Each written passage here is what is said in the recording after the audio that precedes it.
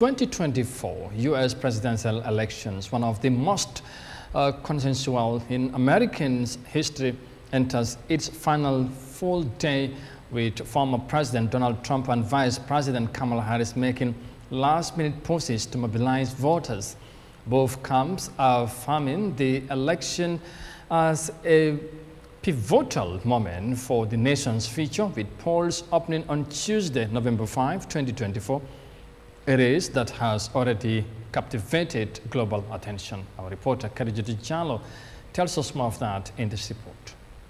The 2024 U.S. presidential election, marking the 68th quadrennial race, is entering its final 48 hours with over 77.6 million votes already cast. New polls show Democratic candidate Kamala Harris leading among early votes in key battleground states, holding an 8% edge over her opponent former President Donald Trump. However, Trump leads among those who say they are very likely to vote but have not yet done so, setting the stage for an intense showdown in the final hours. As election day approaches, both campaigns are ramping up, marking a pivotal moment for the future of U.S. politics. Incumbent President Joe Biden initially sought re-election as the Democratic nominee, facing little opposition However, concerns over his age and health, particularly following a debate in June 2024, leading to increasing calls within his party for him to step down on July 21st, Biden withdrew from the race, making him the first sitting president to do so since Lyndon B. Johnson in 1968. He endorsed Vice President Kamala Harris, who became the Democratic nominee on August 5th, selecting Minnesota Governor Tim Walz as her running mate.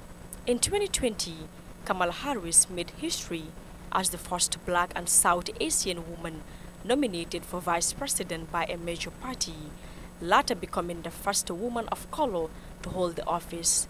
Now, as the Democratic presidential nominee, she stands poised to make history again as the potential first female president of the United States.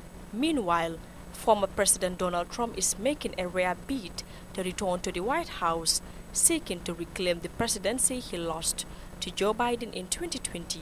However, his part is marked by unique legal and political challenges as he is the first U.S. president, past or present, to face criminal charges. Despite these controversies, Trump remains a powerful force within the Republican Party, relying supporters with his promise to make America great again. In a closing speech to Michigan's sizable Arab American community, Vice President Kamala Harris spoke to a crowd of over 200,000, acknowledging the devastating toll of the ongoing Israeli-Gaza conflict and the related impact in Lebanon. Harris expressed deep concern for civilian casualties, emphasizing the immense loss and suffering endured by civilians on both sides of the conflict. The comments come amid rising criticism from Arab and Muslim American communities as well as anti-war activist groups over U.S. support for Israeli in the conflict that has led to tens of thousands of civilian deaths in Gaza and Lebanon and displaced millions. Many in attendance expressed appreciation for Harris' acknowledgement of the suffering in the region and her pledge to pursue peace, hoping it signals a shift in U.S. policy. For African News, Khadija Tujalo.